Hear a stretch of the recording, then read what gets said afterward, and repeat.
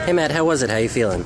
Uh, it was great. Uh, what's your name, Annie? Annie. Annie dropped the ball a couple times. I just so many times. It's very stressful. it's very stressful for Annie, but she did a great job. Yeah. Thanks, Matt. Thank you Thanks for being having me. Thank you for having me.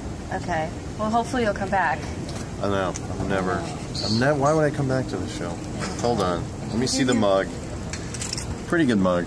Pretty good mug. I like the size. It's a great mug. Great title.